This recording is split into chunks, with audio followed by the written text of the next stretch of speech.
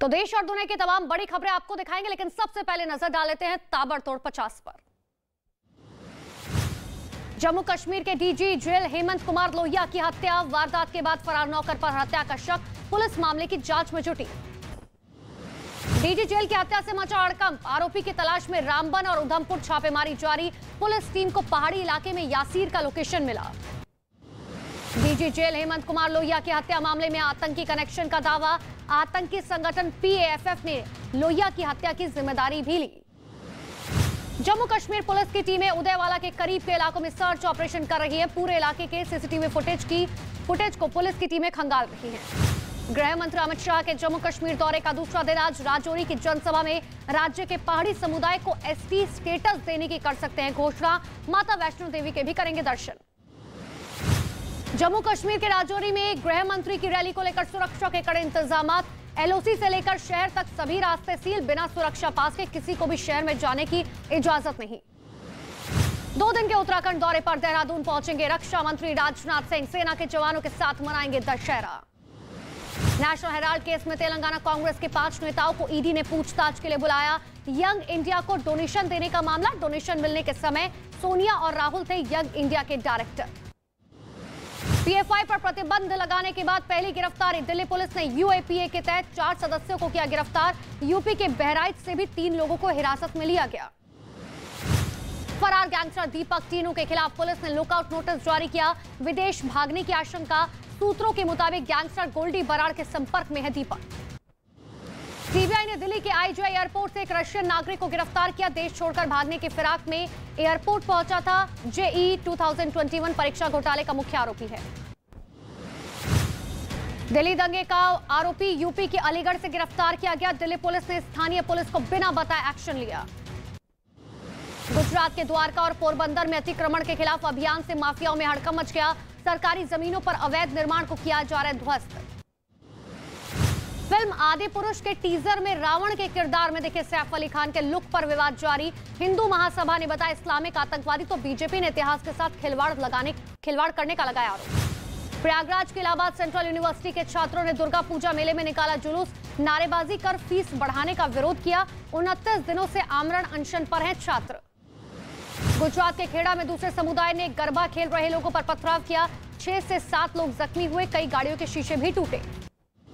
महाराष्ट्र के नासिक में नवरात्र मेले में आपस में भिड़ी लड़कियाँ, मामूली कहासुनी पर बढ़ा विवाद, जमकर मारपीट हुई। झारखंड के गिरिडीह में माँ दुर्गा पर आपत्तिजनक टिप्पणी से गाँव वालों में आक्रोश, पुलिस ने दो लड़कों को गिरफ़्तार किया।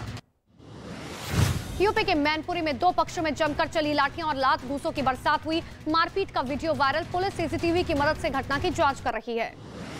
राजस्थान के भिलवाड़ा में एक प्राइवेट हॉस्पिटल में लड़के की मौत पर हंगामा हुआ। गुस्साए लोगों ने अस्पताल में जमकर तोड़फोड़ की। परिवार ने अस्पताल के बाहर शव रखकर प्रदर्शन किया। मुंबई एयरपोर्ट पर कस्टम विभाग की बड़ी कार्रवाई। इथियोपिया एयरलाइंस की फ़्लाइट के ऐप पैसेंजर से करीब 10 करोड़ की कोकीन बरामद की गई। आंध्र प्रदेश के अनंतपुर में पुलिस कांस्टेबल का प्रदर्शन। सरकार के खिलाफ निकाली साइकिल रैली। राजस्थान के अलवर में दिव्यांग से दुष्कर्म, पुलिस ने केस दर्ज कर आरोपी को गिरफ़्तार किया। राजस्थान के बीकानेर में एक लड़के का हाई वोल्टेज ड्रामा, हाथ में टूटी बोतल और ईट लेकर दुकान की छत पर चढ़ा आत्महत्या करने की जिद की। यूपी के प्रयागराज में सिर्फ़ आदमी ट्रेन के इंजन पर चढ़कर करीब 22 मिनट तक मनमानी करता रहा। काफ़ी मशक्कत के बाद कुछ लोगों ने इंजन पर चढ़कर उसे उतारा। पुणे के चांदनी चौक में ब्रिज गिराने के बाद चट्टानों को हटाने के लिए दो और ब्लास्ट किए गए। चट्टानों की वजह से पुणे, बैंगलोर हाईवे पर लग रहा था जैम। यूपी के हरदोई में सड़क हादसे में एक बैंक कर्मी की मौत हो गई। टायर फटने से डिवाइडर से टकराया तेज रफ्तार कार। घटना का सीसीटीवी फुटेज भी आए सामने। महाराष्ट्र के चंद्रपुर में तीन मंजिला एक इमारत भरभरा कर गिर पड़ी। इस हादसे की चपेट में आने से दो महिलाएँ घायल हो गई। यूपी के टावा में एक बड़ा हादसा हो गया। मिट्टी का टीला डहने से चार बच्चे दब गए, जिनमें तीन बच्चों की मौत हो गई। यूपी के लखनऊ में एक घर में खाना बनाते समय सिलेंडर फट गया। हादसे में एक व्यक्ति की मौत हो गई, जबकि कई लोग इसमें घायल हो गए। इटावा में रामलीला पंडाल में अचानक भीषण आग लग गई। आग से रामलीला परिसर में अफरा तफरी मच गई। बिजली के शॉर्ट सर्किट से लगी आग। यूपी के मिर्जापुर में दुर्गा पूजा पंडाल के बाहर लगे मिसाइल के मॉडल में लगी आग। पंडाल में मची अफरा तफरी, कड़ी मशक्कत कर आग पर काबू पाया गया। महाराष्ट्र के कल्याण में एक बहुमंजिला इमारत में आग से हड़कम मच गया। तीसरी मंजिल पर रहने वाले लोगों ने साड़ी के सहारे दूसरी मंजिल कर पर पहुंचकर अपनी जान बचाई। राजस्थान के उदयपुर में 10 फीट के मगरमच्छ की दहशत, वन विभाग ने किया रेस्क्यू, वापस पानी में छोड़ा। मुलायम सिंह यादव की सेहत में सुधार, गुरुग्राम के मेदांता अस्पताल में आईसीयू में भर्ती हैं। अखिलेश समेत परिवार के कई सदस्य अस्पताल में मौजूद। नवरात्रि के आखिरी दिन आज देश भर में महानवमी की धूम। मंदिरों में श्रद्धालुओं की भारी भीड़, माँ दुर्गा का लिया आशीर्वाद। महानवमी पर गोरखपुर के गोरक्षपीठ में सीएम योगी आदित्यनाथ ने किया कन्या पूजन। श्रद्धालुओं को खिलाया खाना। विजयदशमी की शोभा यात्रा भी निकालेंगे। सीएम योगी आदित्यनाथ ने नवरात्र पर सबको दी शुभकामनाएँ, बोले, मातृ शक्ति के सम्मान से जुड़ा महत्वपूर्ण पर्व। त्योहार के ज़रिए लोग मातृ शक्ति को सम्मान देते हैं। मुंबई के नज़दीक ठाणे में लोकल ट्रेन में एक दिन पहले मनाया गया दशहरा ट्रेन को गुब्बारे और फूलों की मालाओं से सजाया गया। महिला यात्रियों ने प्लेटफॉर्म पर किया गरबा। गुजरात के सूरत में महाअष्टमी पर हज़ारों लोग महाआरती में शामिल हुए। उमिया धाम मंदिर में आरती के दियो से पूरा मंदिर परिसर जगमगा उठा। दुबई में आज होगा हिंदू मंदिर का भव्य उद्घाटन। यूएई और भारतीय राजदूत समेत कई अधिकारी होंगे शामिल। उत्तराखंड के धारचूला में बदला मौसम का मिजाज, चीन सीमा से लगे दारमा घाटी में बर्फबारी हुई, मस्ती करते नज़र आए सैलानी। देश में पिछले 24 घंटे में कोरोना के एक हज़ार नौ सौ अड़सठ नए मामले आए सामने, देश में कोविड के चौंतीस हज़ार से अधिक एक्टिव केस। आतंकवाद के मुद्दे पर पाकिस्तान हुआ बेनकाब, कश्मीरियों ने सीमा पार आतंकवाद के मुद्दे पर यूएनएचआरसी में अपनी आप बीती सुनाकर पाकिस्तान की पोल खोली। परमाणु हमले की धमकी के बाद यूक्रेन युद्ध पर और सख्त हुए पुतिन के तेवर।